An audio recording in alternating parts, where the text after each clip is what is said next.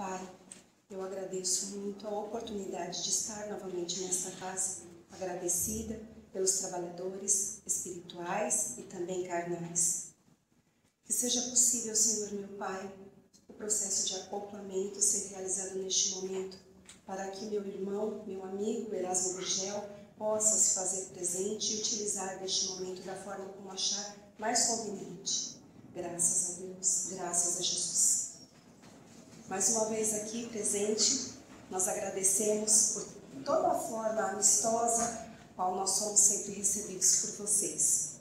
Nosso papel aqui hoje é para que possamos então apresentar o nosso novo trabalho mais recente. Então aqui, Cartas do Erasmo. Numa outra oportunidade nós trouxemos para você o livro sobre, sobre a luz. Então agora, Cartas do Erasmo, e é sobre isso que nós iremos falar. Nós iniciamos então a palestra de hoje dizendo que Erasmo Gurgel trabalha no plano espiritual do Departamento de Psicologia, num grupo com mais 10 espíritos, 10 trabalhadores espirituais. O compromisso deste grupo é então restabilizar o equilíbrio mental dos espíritos, para que eles possam reencarnar. E aí, em 2012, eu tive a aproximação do Erasmo por intermédio da minha mentora na época, Sofia. Ela então, sabendo da necessidade de Erasmo em desempenhar este trabalho e também sabendo das minhas necessidades em reduzir os débitos adquiridos no passado, acharam então conveniente que nós estivéssemos ligados, unidos para desempenhar o atual trabalho. É óbvio que no, naquela época eu não tinha uma noção exata do objetivo, do compromisso que estávamos então iniciando, mas a pedido da mentora, da qual eu tenho uma estima enorme, é, uma ligação de outros tempos, não hesitei. Passei então a trabalhar com disciplina e ao que era possível ao intercâmbio mediúnico daquele momento. Aos poucos, foi então sendo apresentado a mim o objetivo real de todo o trabalho. É óbvio né, que passaram é, alguns períodos onde nós necessitávamos então treinar. E para isso, o grupo do Erasmo colocou em contato comigo 25 espíritos. 25 espíritos que necessitavam se pronunciar e que me auxiliaram para que pudéssemos treinar os fluidos, eu precisava ter certeza de quando Erasmo se aproximava de mim. Eu precisava ter a certeza de que era ele a manifestar então as comunicações, para que outro espírito não pudesse então se fazer passar por ele e modificar o conteúdo da obra. Então o grupo trazia até mim, um a um, e foram 25 espíritos, Cada um se aproximava e eu sentia o contato. Eu visualizava suas histórias, sentia os seus sentimentos. E por momentos era como se eu fosse aquele espírito, vivenciando seus momentos difíceis, suas alegrias, suas frustrações. Um a um, eles foram aparecendo e isso levou um período de aproximadamente dois anos. Sofia já se manifestava e nós tivemos contato aproximadamente 10 anos. Depois de tudo isso, em determinado momento nós finalizamos o trabalho. Sob a luz, estava então finalizado como um romance que falava sobre desencarne, gravidez, falava sobre desafetos do passado, coma, mas Além disso, trazia as 25 comunicações, os 25 relatos daqueles espíritos que nos auxiliaram. Em 2015, o livro Sob a Luz foi publicado. Mas as 25 cartas dos espíritos não foram publicadas neste livro. As pessoas acharam mais adequado que não tivessem o conhecimento de tudo isso e estas cartas ficaram de fora do livro. Um dia eu ouvi claramente: nenhuma palavra se perderá no anonimato. E a partir daí, nós iniciamos então um outro trabalho. Um trabalho onde pudéssemos divulgar estas cartas. Nós iremos nos recordar do livro Céu e o Inferno, capítulo 10, Evocação, onde nós sabemos, meus irmãos, que a evocação serve para que possamos receber conselhos dos bons espíritos, para que possamos moralizar os maus e também para que possamos continuar as relações com os espíritos que nos são caros. Para isso, basta concentração, basta desejo de fazer o bem, fé. É necessário o pensamento e que isto seja feito seguindo a vontade de Deus. O médium, trabalhando desta forma, estará ligado a espíritos sérios, espíritos superiores. E tudo isso ocorre de forma natural, como se o médium não saísse do estado normal, como se ele estivesse recebendo então mensagens ditadas por um encarnado. E aí nós prosseguimos com o nosso trabalho, levando-se em consideração que tudo isso auxiliava os dois planos. Nós prosseguimos porque sabíamos que precisávamos divulgar as mensagens. Nós nos lembraremos que durante todo o processo de trabalho, estes espíritos que foram trazidos, eles se auxiliavam neste trabalho para o próprio tratamento deles. Então, eles eram trazidos e todas as vezes que eles passavam a informação, eles transmitiam perdão, falavam sobre o mundo, sobre o, sobre o mundo onde viviam, falavam sobre suas frustrações e também eles acabavam se libertando de tudo aquilo que lhes afligia. Mas, em determinado momento, isso não foi mais necessário, porque eu acabei então me conscientizando da presença do Erasmo. Lembrando que para que cada um deles viessem, era necessário que muitos membros da equipe estivessem presentes. Era um trabalho árduo por muitos.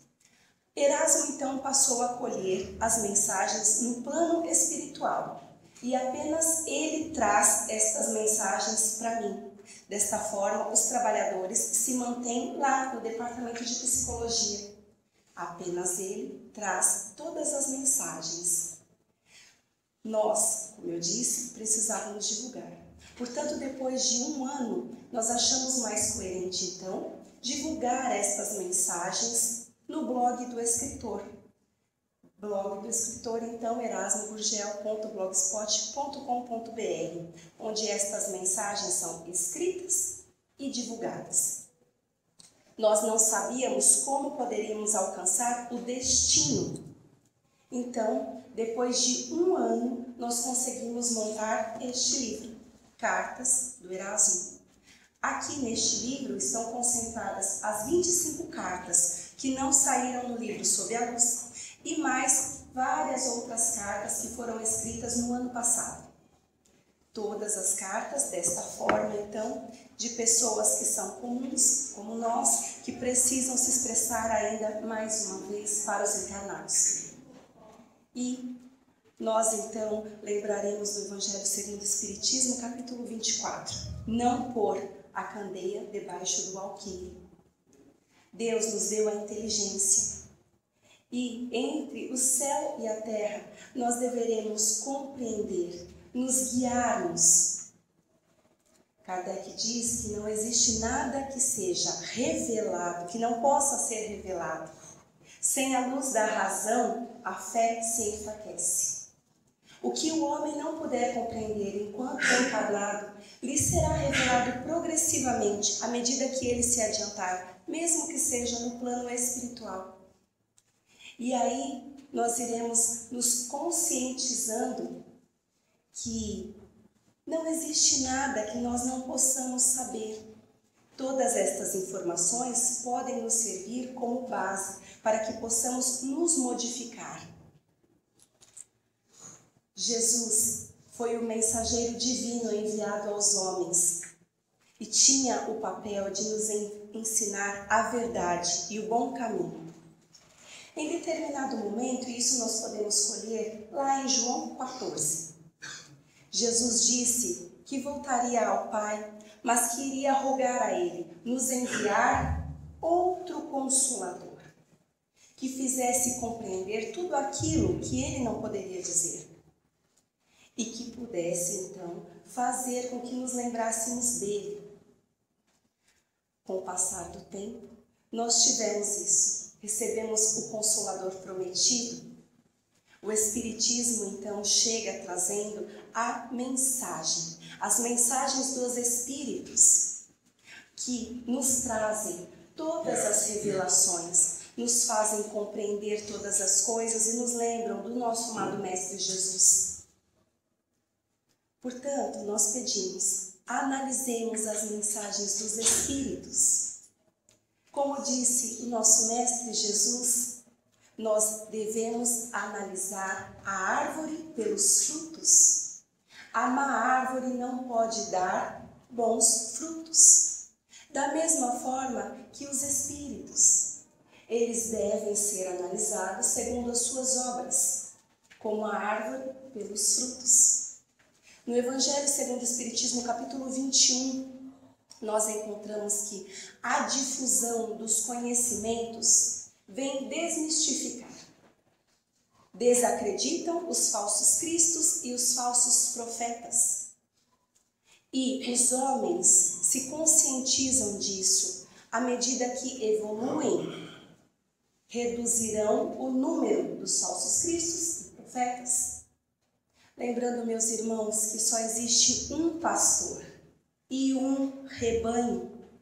Somos todos um. E devemos ter todos o mesmo pensamento, que é seguir um mestre apenas. Nós lembramos também do livro Evolução, Evolução em Dois Mundos, de André Luiz, onde ele afirma que o nosso destino pode ser renovado todos os dias. Que serve neste momento esta frase? Ora, meus irmãos, estou tentando convencê-los de que estas mensagens são importantes para cada um de nós.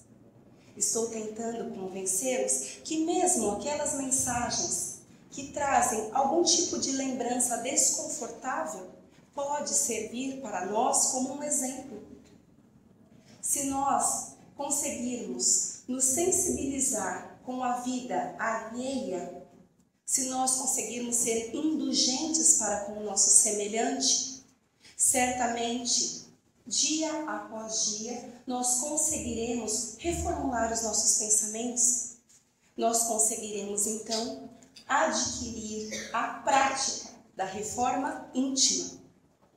Nós deveremos sim observar o outro deixando de ser egoístas, que é o vício da nossa humanidade.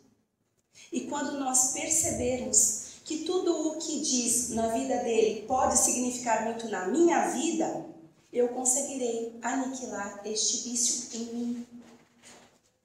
Nós ainda iremos nos lembrar do Evangelho segundo o Espiritismo, capítulo 16, onde lá está muito claro que nós somos devedores uns dos outros.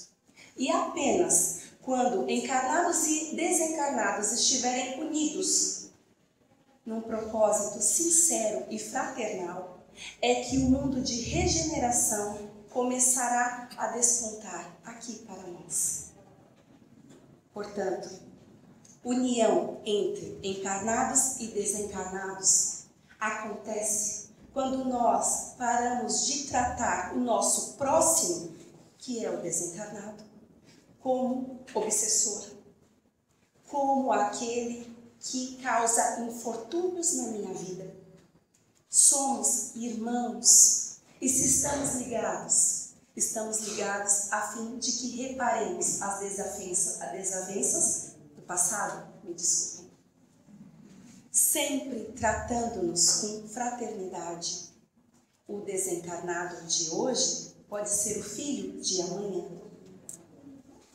Tendo esta consciência de que o nosso papel meu e de Erasmo, é reduzir então este espaço entre encarnados e desencarnados. Foi para isso que o livro foi trazido no plano material. Para que, de certa forma, nós possamos então concluir de que as vidas são todas semelhantes. Todos os erros, todos os desacertos podem acontecer aí e aqui. Então, por isso, não necessitamos de apontamentos, de julgamentos. Todos nós somos sim iguais e somos irmãos. Eu vou então ler uma passagem aleatória. Isabela, eu não estou pronta para me separar da minha vida, mas não existia nada a fazer. Eu comecei a pedir para Deus me tirar dali, de todo aquele pesar. A doença progrediu tanto que eu sentia um cheiro de podre que saía de dentro de mim. Tinha vergonha de ver meus amigos. Não gostava que sentissem pena. Eu não queria estar ali. Eles choravam e eu queria gritar porque eu não ligava para aquela bobagem de visitas que me faziam sentir pior ainda. Por que as pessoas são assim? Elas se esforçavam para visitar quem está tão mal, mas não ligavam para quem está bem. Quando eu estava bem, muitas vezes queria falar do que eu pensava e nunca tinha ninguém para me ouvir. Depois que eu adoeci, parecia que eles me visitavam para se certificarem que eu estava ruim mesmo. Eu não gostei. Chorava sempre, sozinha. Sempre estava sozinha. Porque com minha cara feia as pessoas se afastavam. Mas vê se é bom ficar jogada na cama o tempo todo. Tudo tem explicação deste lado. E quando eu cheguei aqui, minha tutora me disse que eu devia depurar. Eu não sabia o que era depurar e nem o que era tutora. Estava numa cama de hospital, igual ao, ao hospital que eu fiquei quase no finzinho da doença. A moça chegou perto de mim e passou a cuidar para que eu ficasse bem, e eu fiquei bem rápido. Nem entendi até que ela me falou tudo Tutora é o mesmo que mentora ou amiga espiritual. E ela já cuidava de mim quando eu estava encarnada. Daí ela me falou que eu havia desencarnado e eu teria morrido do coração se pudesse. O fato é que eu já havia perdido meu corpo por causa do câncer. Então tive que me conformar. 16 anos é mole minha tutora disse que precisava depurar, ou seja, me livrar de coisas ruins, melhorar. E eu acho que só fiquei mais revoltada. Não sei se foi uma boa para mim essa tal leucemia. Eu aprendi que todos nós fazemos da vida o que achamos correto. Alguns aproveitam bem as oportunidades que têm e conseguem mesmo depurar o espírito. Evoluem com as experiências, sejam boas ou ruins. Outros são ingratos e, seja o que for, ficam revoltados. Não aprendem e têm que começar tudo de novo até chegar o momento onde percebem todas as coisas belas que têm. Eu estou neste processo tentando enxergar as coisas belas. Torçam por mim. O livro é assim. Nem todas, todas as cartas serão iguais, elas não são mesmo. Porque todos nós aqui somos diferentes. Cada um de nós veio de uma família onde foi educado de uma forma. Cada um de nós aqui, com suas idades diferentes, aprendeu e vivenciou em lugares diferentes as coisas que eram adequadas para esta existência. Deus, que é Pai misericordioso de tanto amor e bondade, sabe a família certa onde devemos chegar. Deus, que é todo misericórdia, sabe os caminhos que devemos trilhar para avançarmos. E sabe também as pessoas corretas que devem cruzar o nosso caminho para permitir o nosso avanço. Todos nós serviremos de alicerce uns para com os outros. Por isso, nós não somos iguais. As histórias são todas diferentes, cada um deles com a sua personalidade específica. Cada um deles irão se expressar de forma diferente. E é nisso que consiste todo o esplendor da mediunidade, meus irmãos. Lendo cada carta, nós podemos perceber o quanto são diferentes e as necessidades de cada um. O livro é bom porque é simples, porque traz pessoas de verdade que estão no plano espiritual e necessitam de alguma forma se expressar. Nós lembramos que lá no plano espiritual, estes espíritos precisam falar, mas eles passarão por um comitê específico de análise. E se acaso não estiverem preparados para divulgar a mensagem, eles deverão aguardar. E por que isso? Porque muitas vezes o que eles têm a dizer pode conter muitas informações negativas. Podem estar carregadas de fluidos ainda muito negativos. Ao se expressarem, podem desalinhar nós encarnados.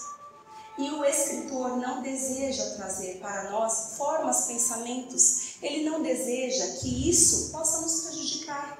Ao contrário, mesmo as mensagens que ainda têm revolta, dor, sofrimento, mesmo elas passaram por análise. E se estão aqui, estão aqui porque foram permitidas chegarem até nós. Como eu disse, nós não sabemos o destino. Então fizemos o livro e trabalhamos com o blog. Vejam que as cartas que chegam no final de semana já vão para o blog. Então qualquer um pode ler, qualquer um pode ter acesso. O papel do Erasmo é este, de trabalhar a serviço do bem. Por quê?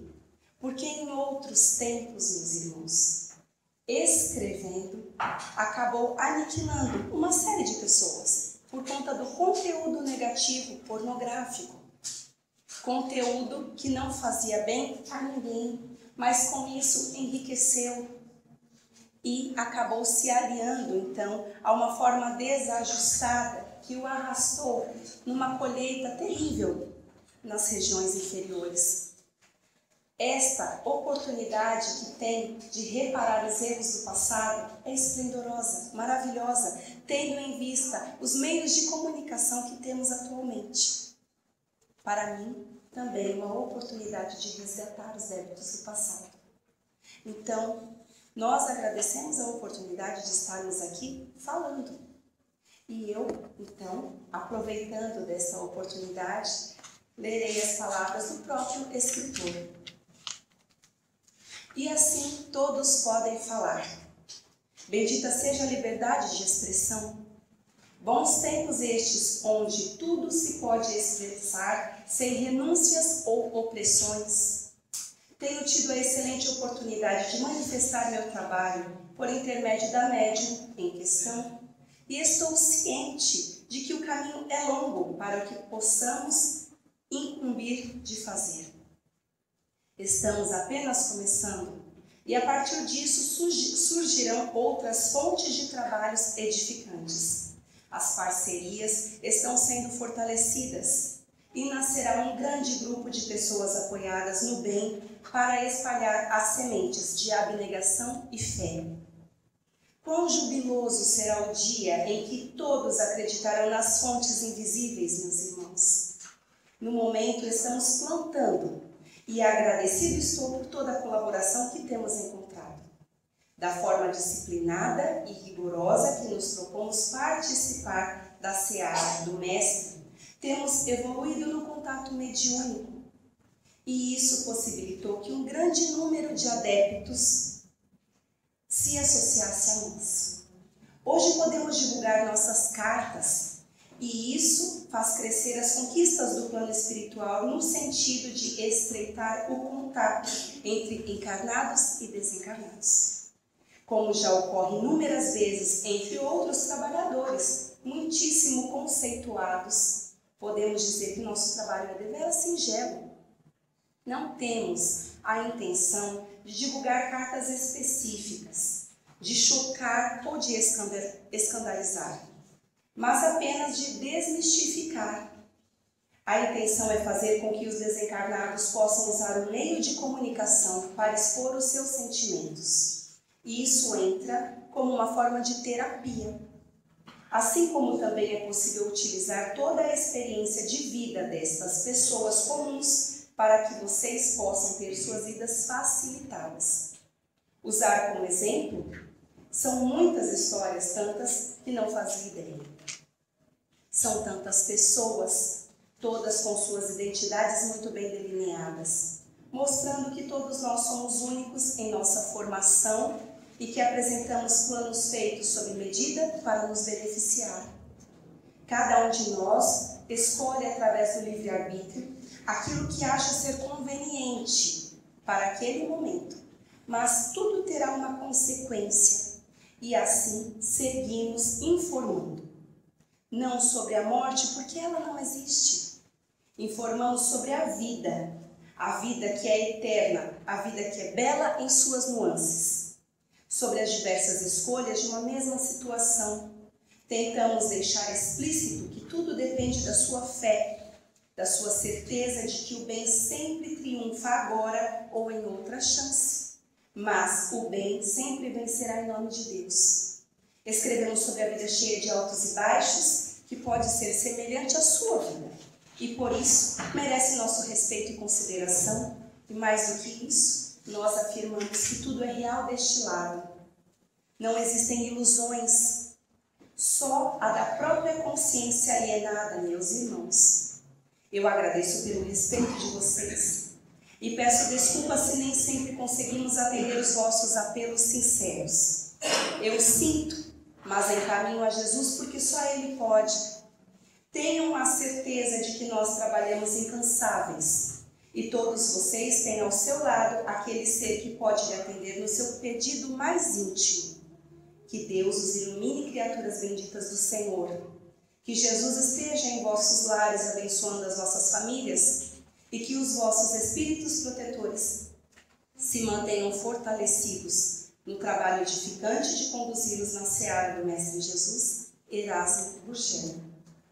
É este o Espírito que trabalha ao meu lado, graças a Deus. É este o que tem então a oportunidade de reparar com este trabalho, e é este o Espírito que está empenhado apenas em fazer o bem, mas de forma simples, e é desta forma, meus irmãos, que nós nos conscientizamos que Deus é maravilhoso em tudo o que faz. E sempre permite, então, que este local nos acolha e nos abrace. Que este local que mantenha suas portas abertas para nós permita que possamos então nos expressar. Agradecidos estamos a Deus, nosso Pai, a Jesus, nosso Mestre, por isso. Erasmo disse aqui dos apelos, apelos sinceros que ele encaminha a Jesus, e eu explicarei. Algumas vezes, é, alguns de nossos irmãos encarnados, em pensamento, pedem a ele para que ele possa trazer então uma carta de algum espírito que está desencarnado, algum ente querido que está desencarnado. E foi como o Erasmo disse, nem sempre existe esta possibilidade. Nem sempre este espírito está no local onde Erasmo está trabalhando. Tendo em vista, então, que estes espíritos que trans transmitem a, as mensagens são aqueles internos, aqueles que estão em tratamento, na maioria dos casos. Espíritos, então, que precisam se reajustar mentalmente para que possam reencarnar. Nós sabemos, meus irmãos, que muitas vezes os espíritos que estão em confusão mental, que estão desequilibrados mentalmente, tanto, com tantas doenças psíquicas, acabam recebendo uma oportunidade de reencarnarem e vêm sim trazendo mazelas físicas mentais. Físicas também, mas neste caso, mentais. Serão então os pacientes que têm problemas mentais, que terão diversas síndromes relacionadas ao autismo ou todas as questões relacionadas à parte cognitiva. Então, muitas vezes, quando estes espíritos recebem o tratamento adequado e conseguem, por conta própria, por livre-arbítrio, perdoarem, conseguem então abandonar o desejo de vingança, a sua revolta, eles conseguem obter a saúde mental ainda no plano espiritual e podem vir dotados de saúde física, mentalmente aqui na, no corpo de carne. O trabalho é este, por isso ele se desculpou. Muitos dos encarnados pedem as cartas dos seus entes queridos, mas nem sempre é possível a ele trazer. É um trabalho distinto. E é por isso que nós estamos aqui hoje nesta oportunidade explicando todo este trabalho do escritor que numa outra oportunidade nós não conseguimos revelar, até mesmo porque estes pontos particulares me vêm sendo revelados atualmente, conforme estou escrevendo os livros. Livros que são específicos à própria história do escritor. Então, todas estas questões que ele escuta, que ele sente, porque nós conseguimos nos comunicar mentalmente, sim, quando nós conseguimos então deixar de lado todas essas mazelas e o nosso corpo físico um pouco mais de lado. Assim ocorre na mediunidade. E entre os espíritos, isso acontece de forma muito simples. Eles captam o nosso pensamento. É só pensarmos nele com firmeza então, as desculpas estão aqui trazidas, relatadas no livro. Infelizmente, não é possível para todos. O trabalho, então, da equipe toda, que é unida para resgatar estes espíritos e para que possa, então, auxiliá-los no seu processo de reencarne, para que possam, numa outra oportunidade, avançar. Eu acredito que o livro pode ajudar, porque algumas experiências que tivemos, eu, minha família, alguns conhecidos que receberam as cartas, que leram, não cartas nominais, cartas realmente que servem para todos. As pessoas vão se conscientizando dessa necessidade de fazer o bem, de trabalhar com a lei da caridade, que é esta onde nós sabemos que devemos pagar o mal com o bem, utilizarmos sempre da indulgência para com os nossos semelhantes, não maldizendo os nossos próximos, fazer sempre o que tiver ao nosso alcance, tratar o outro da forma como desejamos ser tratados e amar, amar indistintamente até os nossos inimigos esquecendo e perdoando as ofensas. É fácil fazer isso? Não é fácil. E é por isso que quando desencarnamos, muitas vezes carregamos todas essas chagas conosco, porque ainda não nos depuramos adequadamente, porque ainda somos muito imperfeitos. Qual é o nosso papel então, se não conseguimos amar? É estarmos unidos é que um dê a mão para o outro e que consiga perceber a sua dificuldade e que consiga auxiliá-lo ainda no plano físico. Vejam, meus irmãos, tantos relatos de pessoas que já desencarnaram e, mesmo sem a posse do corpo físico doente, permanecem em sofrimento, permanecem em tratamento por período indeterminado. Precisam desta oportunidade para melhorar? Será? E aí, a nossa reflexão da manhã. Será, meus irmãos, que se nós pudéssemos então avançar tanto ainda aqui no corpo físico, sendo auxiliados uns pelos outros, se nós pudéssemos evoluir tanto em sentimentos, nós teríamos um desencarne mais facilitado? Será que nós então encontraríamos um lugar mais feliz no mundo espiritual? Será que seria mais fácil para nós reencarnarmos novamente, sem sofrimento, sem este tipo de trabalho que tantos precisam auxiliar um espírito? Eu acredito que sim. Eu acredito que se nós tivermos esta consciência do nosso papel de encarnados e dentro do lar, é como eu digo sempre, já iniciarmos este processo de união de indulgência e de amor, onde nós reparamos com nossos entes queridos todos os débitos do passado. Nós iniciaremos então um processo onde começamos a brotar um sentimento então mais depurado, um sentimento então mais afinizado com as forças espirituais. Desta forma, nós iremos pouco a pouco sentindo o amor de Deus, o amor do Mestre Jesus em nós, em nossas vidas, em nossos lares, por nossos semelhantes.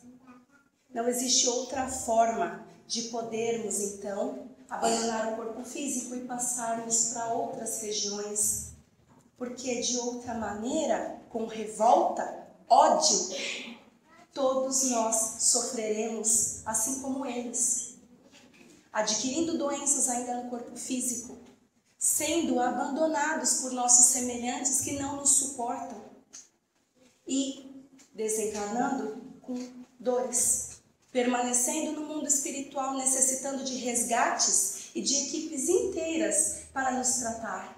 Para que tudo isso? Por orgulho e vaidade. Deixemos agora, neste momento então, que as forças invisíveis possam atuar em nós. Passamos então a, a escutar firmemente os apelos de nossos mentores, que nos pedem apenas para trilharmos o caminho do bem e adiantarmos no caminho, porque nós devemos olhar para os céus, meus irmãos, e sabermos o que Deus quer nas nossas vidas, concluir os planos de Deus. É para isso que estamos aqui. Eu agradeço a todos pela oportunidade. Peço desculpas se de alguma forma me fiz enfadonha, cansativa para o domingo de vocês, mas muito obrigada mesmo pela forma carinhosa que nos recebem. Eu peço, por favor, fechem os olhos apenas para concluir o trabalho. Eu agradeço a Deus e a Jesus pela abençoada oportunidade de trabalhar com meu amigo Erasmo Gurgel, que se manifestou, se fez presente, me intuindo. De todo o coração eu agradeço a Jesus pelo trabalho em questão.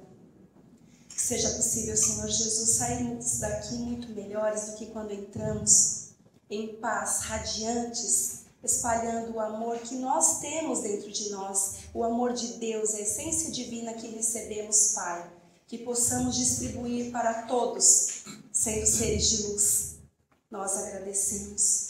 Graças a Deus, graças a Jesus.